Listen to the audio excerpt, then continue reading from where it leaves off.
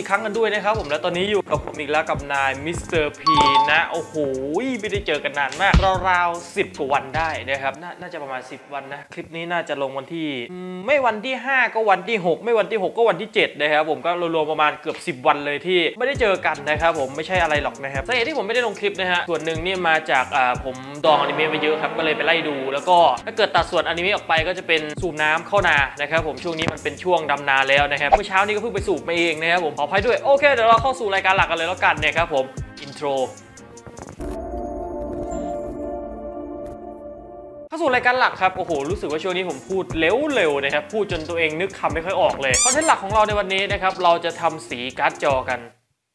ใช่ใช่ผมหมายถึงสีการ์ดจอหมายถึงทำสีการ์ดจอ ผมเคยทำมาแล้วนะเออทำสีการ์ดจอผมเคยทำมาแล้วแล้วก็น่าจะหลายเดือนแล้วนะครับที่ผมไม่ได้ทำสีการ์ดจอมาเลยผมรู้สึกว่าการ์ดจอเป็นสิ่งหนึ่งที่ช่วยในการทำงานในหลาย ๆ เรื่องนะครับอาจจะเป็นการเล่นเกมทำงานอะไรต่าง ๆ แต่ว่าด้วยความที่เขาก็จะมีสีที่มาจากโรงงาน แต่ด้วยความที่เราอยากจะ custom สีเองนะครับมันก็ต้องทำการลงสีกันหน่อยซึ่งนี่ฮะสีที่ผมลงแล้วอืมก็ ผมผมถ่ายคลิปอ่าผมถ่าย footage เปิดคลิปเนี่ยหลังอ่าทำสีการ์ดจอนะครับก็ก็ต้องขออภัยด้วยที่มันมีผลงานมาก่อนแล้ว แต่ไม่เป็นไรครับเราจะใส่เซนเซอร์ไม่เซนเซอร์คุณภาพชิบหายเลยนะฮะ บอกกันเลยนะครับผมว่าคลิปนี้ไม่มีวิชาการ เพราะฉะนั้นอย่าแสวงหาวิธีการทำเหมือนผมนะฮะ อย่าหาทำดีกว่า ผมทำเพื่อความสนุกแล้วก็ความชอบส่วนบุคคลนะครับ เพราะฉะนั้นเตือนอีกรอบอย่าหาทำแล้วล่ะผมจะส่ง footage นี้ให้กับนายมิสเตอร์พีใน footage การทำสีการ์ดจอนะฮะ ไป เอาล่ะก่อนที่เราจะไปทำสีการ์ดจอกันนะครับ ผมอยากจะให้ท่านผู้ชมได้เห็นสีการ์ดจอของผมก่อนนะครับ ว่าก่อนหน้านี้เนี่ยเป็นสีไหนนะครับผมอย่างที่เห็นครับ ตัวนี้เป็นการ์ดจอ iGame นะครับผมจากทาง Colorful ในซีรีส์ GTX 1070 8 GB นะครับผม ด้านหน้าก็จะมีพัดลมอยู่ทั้งหมด 3 ตัวครับ สติกเกอร์ลอกไปแล้ว 1 ด้านหลังจะเป็น backplate นะครับผมตรงนี้นี่ค่อนข้างที่จะเน้นเลยเพราะว่าถ้าเกิดทำสีออกมาดีเนี่ยก็จะมีพื้นที่กว้างสำหรับการ paint อย่างอื่นด้วยเอาล่ะก่อนที่จะไปลงสีนะครับเราควรจะมาคิดก่อนว่าเราสามารถลงสีให้กับการ์ดจอของเราเนี่ยส่วนไหนได้บ้างนะครับ อันนี้เป็นเกร็ดความรู้เล็กน้อยนะครับผมพัดลมนะครับวิศวกรเขาออกแบบมาสำหรับดูดลมและระบายความร้อนออกผ่าน sink นะครับอันนี้เรารู้อยู่แล้วใช่ไหมแต่นะครับถ้าเกิดว่าเราสเปรย์ไปพ่นใส่กับใบพัดพวกนี้เนี่ยจะทำให้ใบพัดหนักขึ้นนะครับผมแล้วก็ทำให้มอเตอร์นะครับทำงานหนักขึ้นนั่นเอง ถ้าเกิดว่าเราฉีดสเปรย์เข้าไปในจุดๆนั้นซ้ำๆนะครับผมมันจะทำให้เกิดหยดน้ำนะครับหรือหยดสเปรย์ที่เรารู้จักกันดีนะครับผมจากนั้นมันจะเกาะตามใบพัดนะครับผมทำให้ใบพัดนั้นหนักและหนืดขึ้นนั่นเองนะครับผมอันนี้ก็แล้วแต่คนจะชั่งใจนะครับว่าจะพ่นสเปรย์เข้าสู่ใบพัดหรือเปล่านะครับแต่สำหรับผมเนี่ยผมคิดมาแล้วนะครับผมว่าผมจะทำใบพัดเนี่ยทั้ง 3 ใบพัดเลยนะครับให้เป็นสีขาวทั้งหมดการ์ดจอตัวนี้นะครับผมด้านหลังมันจะเป็นคล้ายๆเหมือนเส้นตัดเศษกระจกแตกอะไรประมาณนี้นะครับนี่สังเกตไหมนะครับผมนี่ผมก็จะทำการเอาเทปนะครับผมแปะไปตามร่องของมันนะครับแปะไว้แปะไว้นะครับผมเวลาลงสีสีจะได้ไม่ไปที่อื่นนะครับผมนะในส่วนของสติกเกอร์ตรงนี้ 2 อันผมก็จะเว้นไว้เหมือนกันนะครับผมใจหนึ่งก็อยากจะฉีดทับไปเลยนะครับให้มันแบบเกลี้ยงเกลานะแต่ด้วยความที่ serial number นะครับผมของตัว iGame ตัวนี้เนี่ยมันไม่ได้อยู่ตรงแถบการ์ดพวกนี้นะครับมันมาอยู่ตรง backplate ก็ต้องยอมรับนะครับผมเอาล่ะเดี๋ยวเรามาเริ่มทำแลบกันเลยกันนะครับผมสำหรับการแยกชิ้นส่วนนะฮะ ไปเดี๋ยวเราไปเริ่มกันเลย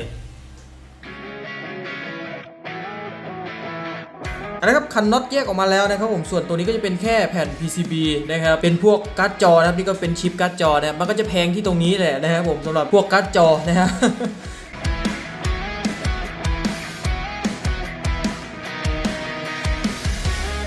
โอเคขันน็อตเสร็จแล้วนะครับผมโอ้โหฝุ่นเกาะอย่างเห็นได้ชัดเลยถ้าดูมุมนี้ ไม่ได้ทำความสะอาดนานมากนะครับผมโอ้โหดูดิมีแผ่นอันนี้มันงอด้วยทั้งมันนะครับผมพยายามดัดแล้วมันก็ไม่ลงนะฮะไม่รู้เป็นอะไรนี่คือสิ่งที่เรียกว่า sink นะครับ ส่วนอันนี้คือเป็นตัวครอบ โอ้โหฝุ่นเยอะพอๆกันเลย โอเคครับเก็บซิงไว้ให้ดี ส่วนตรงนี้ก็คือไฮไลท์เด็ดของเรานะครับผมก็คือพวกพัดลมแล้วก็ชุดครอบนะครับผมนี่โอ้โหโอ้โหนี่ไม่ใช่อะไรนะฮะโอ้โหฝุ่นเยอะ ไม่ได้ทำความสะอาดมาพักหนึ่งนะครับผมแป๊บเดียวเท่านั้นเอง2อสเดือนนะฮะโอ้โห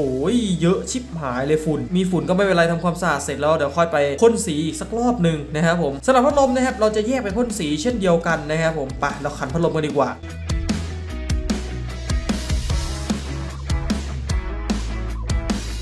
อเคครับผมไขออกเสร็จแล้วนะครับสำหรับพัดลมทีนี้แล้วก็แยกพัดลมออกนะครับผมโอ้โหสายตรึงเลย พัดลมเหมือนจะมีความหนืดนิดๆนะครับน่าจะเป็นผลมาจากอ่ามอเตอร์ใช้งานหนักเกินไปนะครับผมจนมีอะไรบางอย่างผิดปกตินะครับผมนี่ฝืดทั้งหมดเลย เริ่มฝืดแล้วนะฮะตอนที่ผมได้มาครั้งแรกนะครับมันยังลื่นกว่านี้อยู่เลยนะฮะแต่ว่าตอนนี้ก็เริ่มฝืดแล้วสงสัยอาจจะต้องได้เปลี่ยนพัดลมนะครับผมในอนาคตนะและแล้วก็ถึงเวลาสมควรครับเราก็เอาพัดลมแล้วก็กรอบอะไรต่างๆนะครับมาทำการห้อยให้เรียบร้อยนะครับผมเวลาเราพ่นสีเนี่ยพวกฝุ่นอะไรนะครับผมจะได้ไม่โดนง่ายๆนะฮะก็นี่ฮะผมก็ทำการเอาสติกเกอร์อะไรแปะไปที่เรียบร้อยแล้ว แต่ครับผมแต่ฮะเดี๋ยวทุกคนจะเก็ตเองนะครับผมว่าผมลืมอะไรนะฮะแล้วก็เกือบทำให้โปรเจกต์ล่มเลยก็ว่าได้นะครับผมเอาละครับจับตาดูให้ดีฮะแล้วนี่คือสิ่งที่ผมพลาดที่สุดครับนะฮะฉีดสเปรย์ลงไปฮะฉีดฟืดฟืดฟืดฟืดและสังเกตดีๆฮะสังเกตดีๆเอาเลยฮะนั่นฮะมาแล้วจุดแรกครับผม อุ้ยชิบหายฮะ ผมลืมเอากระดาษทรายขัดนะผมโอ้โหลืมได้ยังไงไม่รู้ฮะทั้งๆที่ตัวเองก็ซื้อมาแล้วทั้งทีกระดาษทราย อธิบายเพิ่มเติมนะฮะกรณีที่พื้นผิวมีความเรียบเนียน สามารถใช้กระดาษทรายน้ำเบอร์ละเอียดขัดได้ จะทำให้สีนั้นเกาะตัวกันแน่นขึ้น และไม่แตกตัว อย่างในกรณีของผมนะฮะผมไม่ได้ทำการเอากระดาษทรายขัดตั้งแต่เนิ่นๆนะครับผมสุดท้ายนะฮะสีมันก็แตกตัว และท่านก็ทำให้โปรเจกต์เกือบล่มได้เลยทีเดียว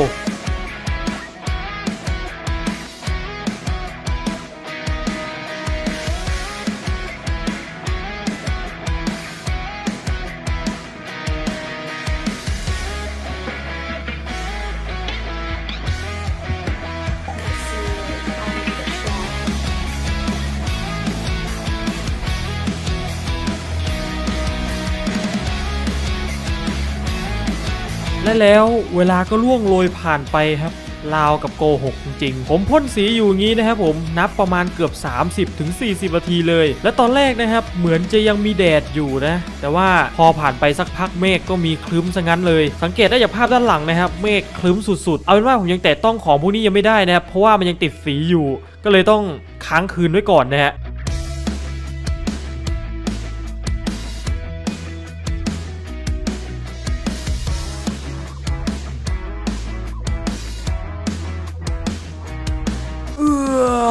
บ่ายสักทีเออไม่ใช่ฮะมันมันคือช่วงเช้านั่นแหละ แต่ว่าผมพูดบ่ายติดปากนะฮะตื่นสายก็งี้แหละ ทีนี้ผมก็มาเก็บของนะฮะเอาล่ะเราไปประกอบกันเลย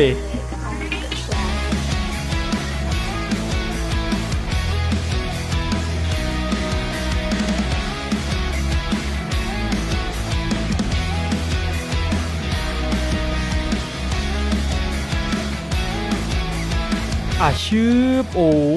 ดูอย่างนี้ก็สวยดีเหมือนกันนะครับ นี่คือด้านหลังเนาะอืมนะมาดูด้านหน้ากันบ้างครับนี่ฮะด้านหน้า ดูอย่างนี้ก็สวยดี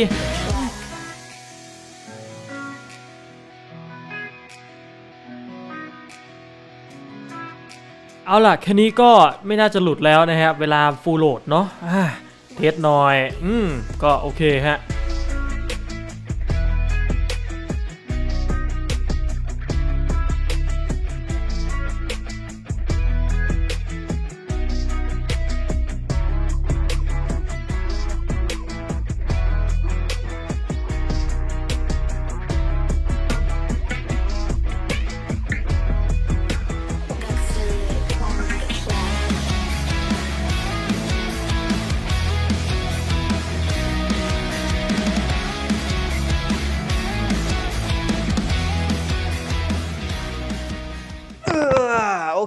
กลับกันมาอีกแล้วอู้หูและนี่ก็คือการ์ดจอที่ทำเสร็จแล้วนะครับ ไม่ใช่อะไรหรอกผมก็แค่อัดคลิปนี้ต่อจากอ่า footage เปิดคลิปเท่านั้นเองมันมันไม่ได้ไปไหนเลยนะครับ อืม นั่นแหละแล้วนี่ก็คือการ์ดจอของผมนะฮะนี่เลยการ์ดจอนะฮะทำสีมาเรียบร้อยแล้วนะครับผมเกิดว่าเราดูไกลๆนะครับระยะประมาณนี้นะเรารู้เลยว่ามีตำหนินะครับแต่ถ้าเราดูใกล้ๆอืมตำหนิเต็มเลยนะครับสีการ์ดจอมันเนี่ยมันก็หลายใบแล้วนะแต่ว่าไม่เคยทำสวยสักใบเลยเอาจริงๆนะอย่างมากก็ทำสีขาวไม่ขาวก็แดงแค่นั้นแหละทำอยู่สองสีเพราะว่าสีอื่นเนี่ยมันไม่โดนใจเนี่ยมันไม่ชอบอะเออเอาล่ะก็สำหรับคลิปนี้นะครับผมขอตัวลาแต่เพียงเท่านี้เลยแล้วกันนะครับส่วนคลิปหน้าจะเป็นอะไรไว้ลุ้นกันต่อแต่คลิปนี้ บายครับ see you again ครับผม